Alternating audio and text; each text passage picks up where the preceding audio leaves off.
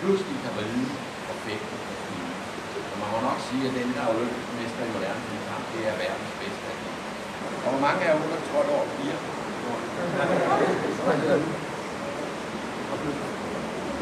og frit, ja. Okay, lad os se.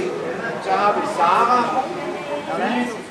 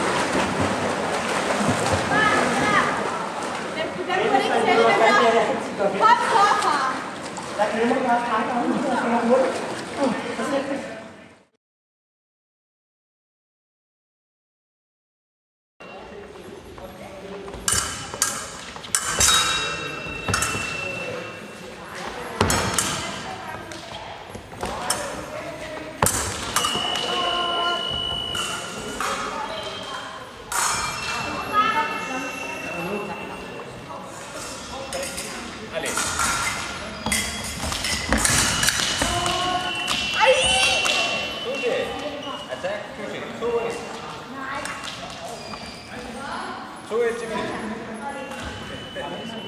ルク。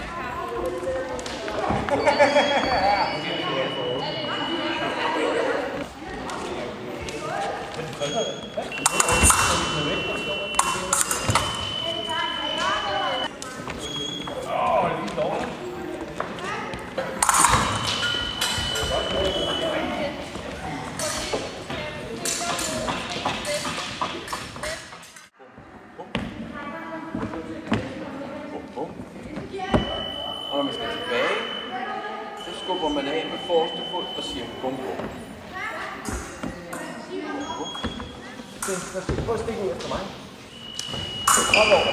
Bum. Lige så hurtigt jeg lægger på her. Tup. Så kommer den anden op. Så er den også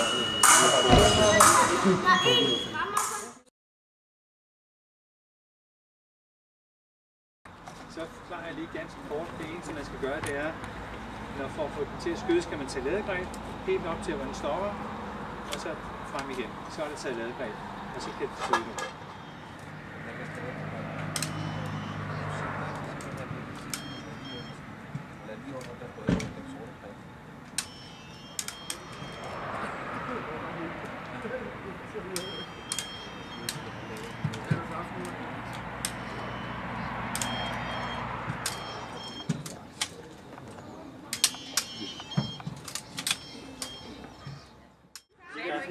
Man sigter, i bunden, i bunden af den sorte plads. Det vil sige, at sigtemidlerne står lige i bunden med en ganske lille hvid stribe. Ja, ikke? Det er sådan, de skulle det. Okay. Så man holder altså ikke i midten af det sorte, men i bunden. Det, det er den bedste måde at få kontrast. Når den bagerste lampe viser, når den er grøn, så viser den, at jeg har taget ladegreb. Så skyder jeg, når jeg er skudt, så bliver den rød. Den midterste lampe, den skal I ikke stå og kigge på, men der kan vi, den, den bliver grøn, når den kan se centrum af, af, af, af skiven derude. Og den forreste grønne lampe af de tre, det er om der er et batteri på eller ej. Okay?